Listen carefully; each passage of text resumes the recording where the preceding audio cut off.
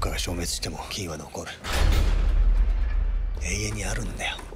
ここの真下に240億の金塊が眠ってんだぞ。札束より欲しいものお前にはあるか。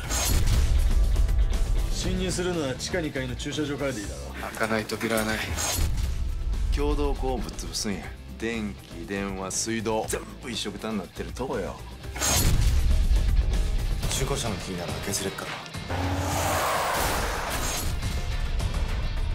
知り合いに爆弾魔いるか？正体不明だな。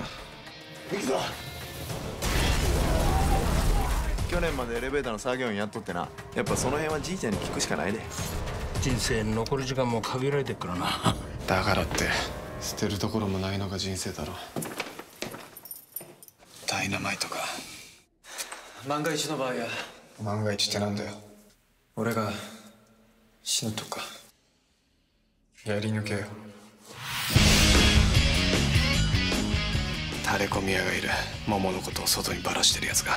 なんで泥棒が譲られなあかんねもう始まってんだよ。途中下車はなしだ。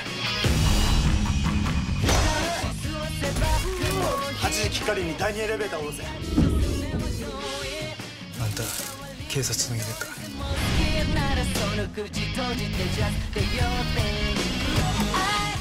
240億円の金塊をめぐり男たちの究極の賭けが今始まる。